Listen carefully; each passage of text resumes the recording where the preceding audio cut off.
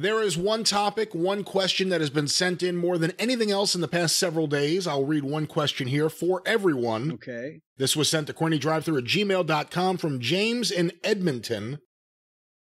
Jon Moxley recently released a new book, and there have been some quotes from the book doing the rounds on social media. One in particular is what he had to say about Kevin Dunn. I, The I- I must say, people have tweeted this to me of, of just a picture of one of the pages. So I haven't read the whole book or even the entire chapter, or whatever. But there's some interesting comments about Kevin. Go ahead. Uh, and James gives us some context here. The content for the excerpt below is the following When Moxley won his first WWE title, which was the US title in 2013, he mouthed off the phrase, Give me my fucking belt. the camera feed picked up him mouthing it, although the mics did not. Either way, when Moxley went to the back, Kevin Dunn told him what happened, and at the time, Moxley didn't realize he said that, so he apologized and said it wouldn't happen again, and Kevin Dunn told him it was all good. Then two days later, he calls him into a production truck and forces him to apologize to all the cameramen and everyone involved in production for saying that, What? saying that Moxley's initial apology wasn't sincere enough. So that's where we get Moxley's take. So let me stop right there because I didn't even know the context for this until this. What do you think of that? Well, I didn't know the context either. As far as I saw the page about the apology, about the actually the uh, aftermath of the apology. I didn't get the part about it being his U.S. title win, and he had said "fuck" on. I understand going to the guys that don't mouth "fuck" on television because you couldn't do that then. They they they're all a bunch of potty mouths now. But it sounds like the little fucking ferret himself that is Kevin Dunn that he would apologize to the cameramen because you ma- you said fuck and they caught it on camera. Fuck you. How about that? That's Uh, just a it's, power it's trip. ridiculous. Yeah, it's ridiculous. Well, it's like when I had to apologize to Kevin Dunn for calling him Bucky Beaver and telling him he ought to get his teeth fixed.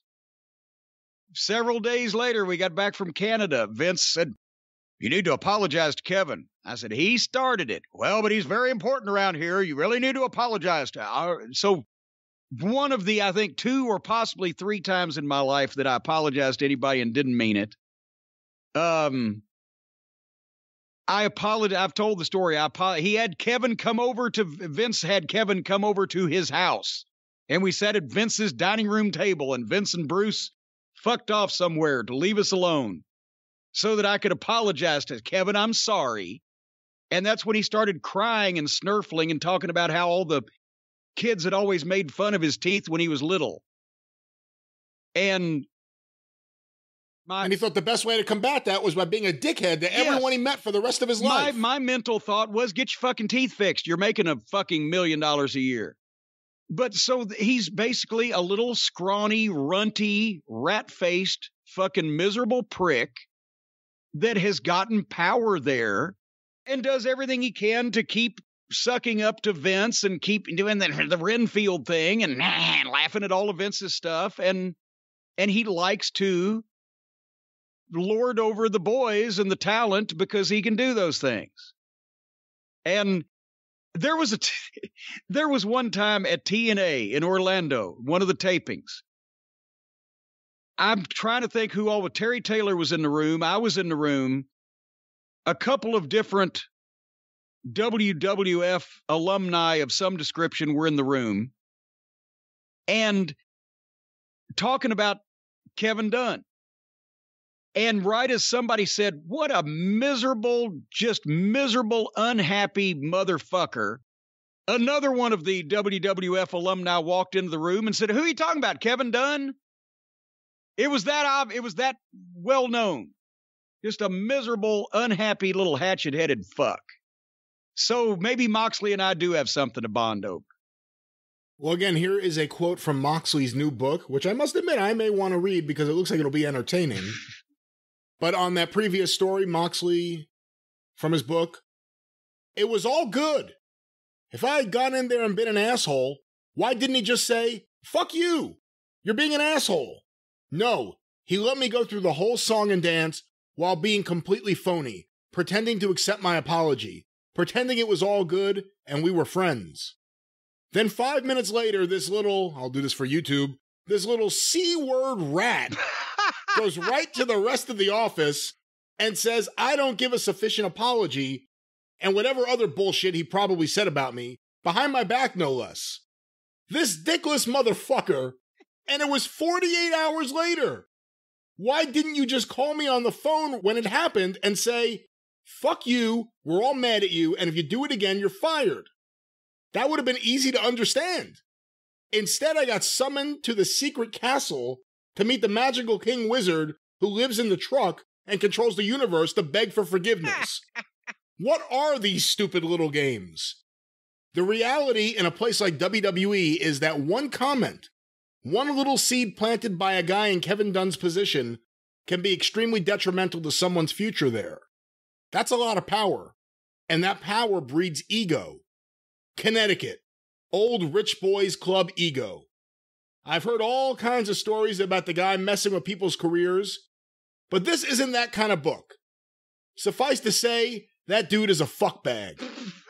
Maybe this is that kind of book. No, no. But for real, don't even get me started on. No, this is not that kind of book. Fuck Kevin Dunn.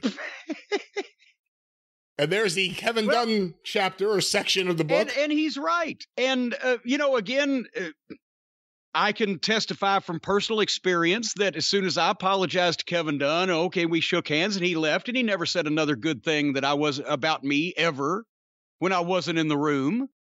Every once in a while he'd throw me a bone verbally when I was in the room, but I'm sure he would take that back as soon as I left.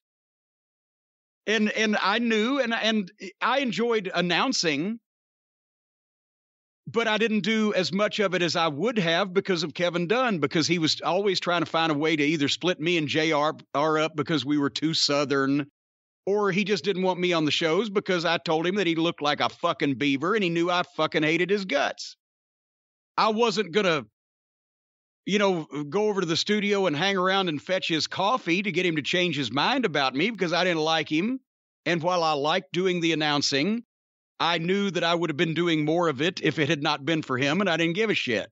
I wasn't going to be nice to him regardless. I was going to tolerate him as best I could because every time I tried to go out of my way to do something um, that could be considered Uh, uh, professional or even halfway polite to him, I just got the same, nah.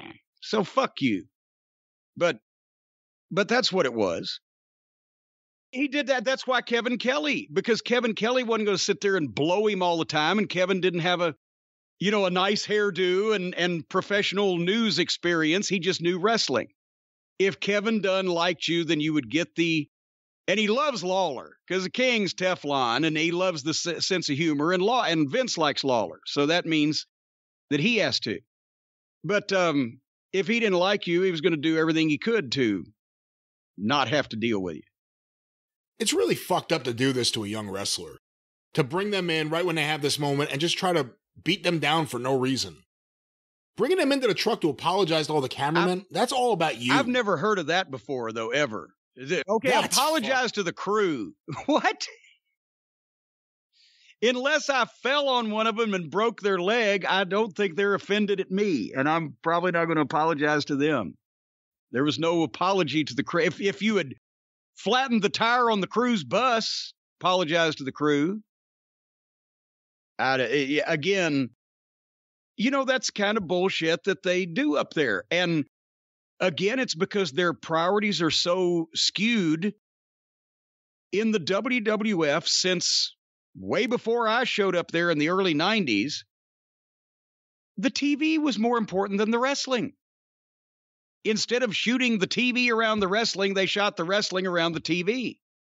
And I told Vince when he asked me to apologize to Kevin Dunn, I said, I'm sorry to you that I was not aware because I've never been in a single promotion anywhere where the TV guys told the wrestlers what to do instead of the other way around. So I apologize for not being aware that this was an anomaly. All right. Well, on this topic, real quick, Someone just sent me another recent WWE format from a TV taping. Because these things always seem to get out. This is from the season premiere of Raw, October 25th. Are they still not writing everybody's name on the top of the format so you can know who to fucking find and kick out in the fucking parking lot when their format is found? No, at the top of the format, the only thing it says is you're watching the longest running weekly episodic television show in history. it should say you are leaving paperwork uh, on the longest running blah blah blah to be found by people and put on the internet you fucking idiot i'm trying to see if there's anything really uh, interesting in here. I mean it has obviously some of the promos but maybe the most interesting thing is the list of talent.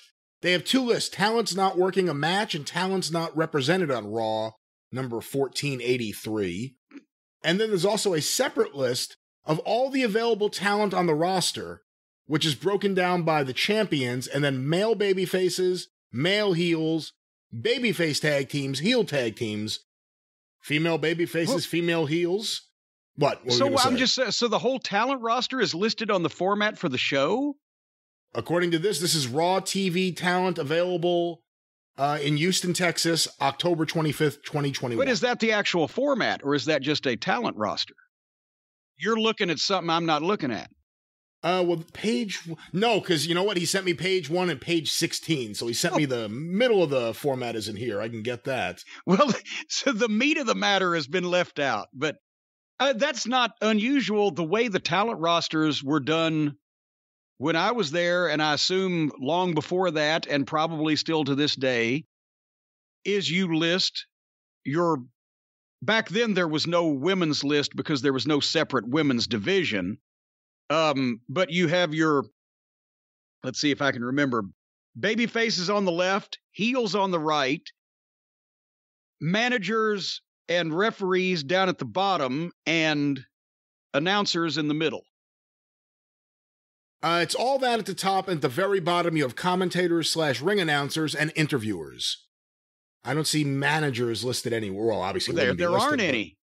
Yeah, I'm trying to see if uh, MVP is listed anywhere on here, but he's out right now, I guess too. So he's not. But that that would be an overall talent roster, not just for one particular show, but that's the roster that we worked off of to book everything. You had a list of all of the talent that you were using. Everybody was on contract. Everybody that had an individual per night deal, whatever the case. Baby faces on the left, heels on the right, and also separate for announcers, managers, referees.